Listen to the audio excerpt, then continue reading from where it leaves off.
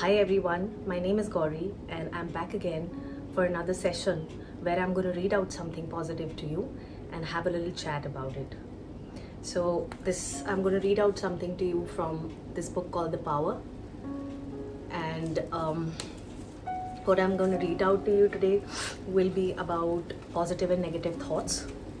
So it says your thoughts are both the words you hear in your head and the words you speak out loud. When you say to somebody, What a beautiful day, you had the thought first and then spoke the words. Your thoughts also become your actions. When you get out of bed in the morning, you had the thought of getting out of bed before you took action. You can't take any action without thinking the thought first. It's your thoughts that determine whether your words and actions will be positive or negative. But how do you know whether your thoughts are positive or negative? Your thoughts are positive when they are thoughts of what you want and love.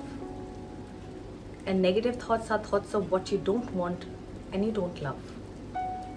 It is that simple and that easy. Whatever you want in life, you want it because you love it. Take a moment and think about it. You don't want things you don't love, do you? Every person only wants what they love.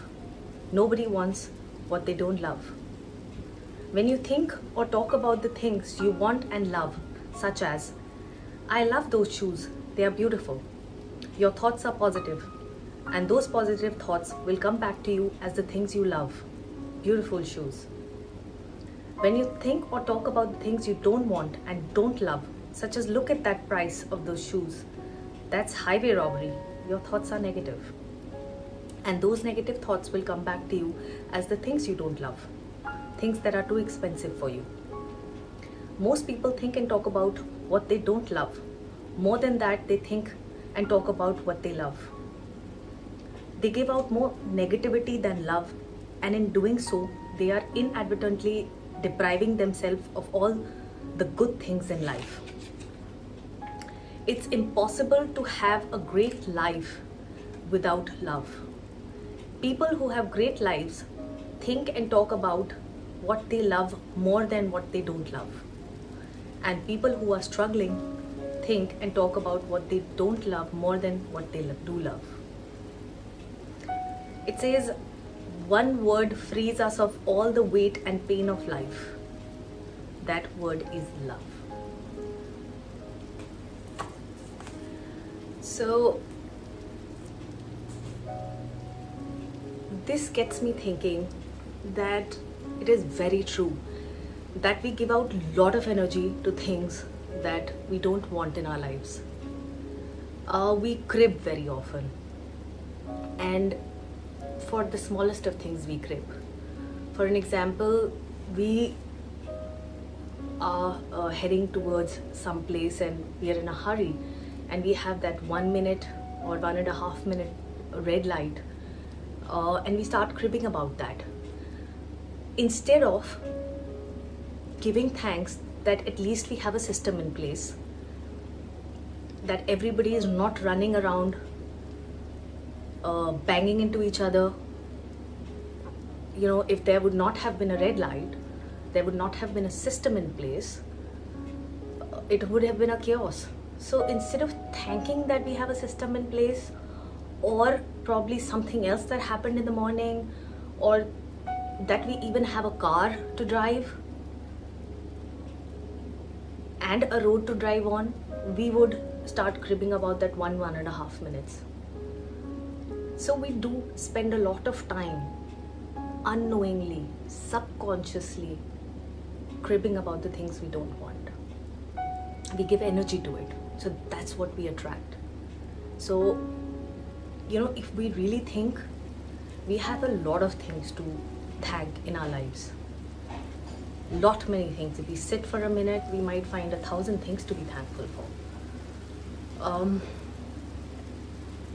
why we don't give too much uh, uh, thanks and why we don't realize what we are doing is because we take everything for granted. And um, all these books, even the Secret, The Power, The Magic, or any other book that talk about positivity, law of attraction, every book or every good saying or every good thing is trying to shift or trying to make us realize that we should change our thinking from taking things for granted, cribbing, giving energy to the negative things. We should shift our focus. We should stop taking things in life for granted and you know start being grateful for what we have. For an example we take our life for granted. We think we are going to wake up every morning. We make plans of life 5 years 10 years ahead or maybe the next day taking for granted that we are going to wake up in the morning. So from henceforth please make it a habit when you wake up in the morning, say thank you for your life. If you actually think about it, our life is not guaranteed. We might not wake up tomorrow morning. I'm talking to you now, might not be alive tomorrow to take another session or to talk to you.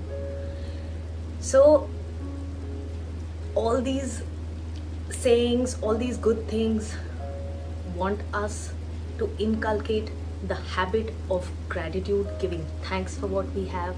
For an example, uh, we can be grateful for our life, that we are alive today, to live another beautiful day. Uh, we can be thankful for the nature, the sun that comes out every morning in this cold winter months. If we don't have the sun for few days straight, what would happen? So, why do we take these things for granted? So we can be thankful for the sun, the beautiful nature, that uh, you know so many things. Our toothbrush, so that we can maintain dental hygiene, uh, for our warm beds to sleep in, for a roof over our head, maids who are coming to clean our homes, drivers who drive our car, our guards, people who clean the roads, who collect garbage from our homes if all these people aren't, won't be there, our life would simply be hell. So instead of cribbing for few things that we that is out of our reach or it's not in our hands, few situations probably, we have so many things to be thankful for. Our life is beautiful. Every day when we wake up, we have a new day to live, and we should be grateful for that and the few things that I've mentioned. So, everything that we have is not guaranteed, but we still do have it, and we must be grateful for that. We should be focusing on the good things in our life and attract more good things than focusing on the negatives and attracting more negatives.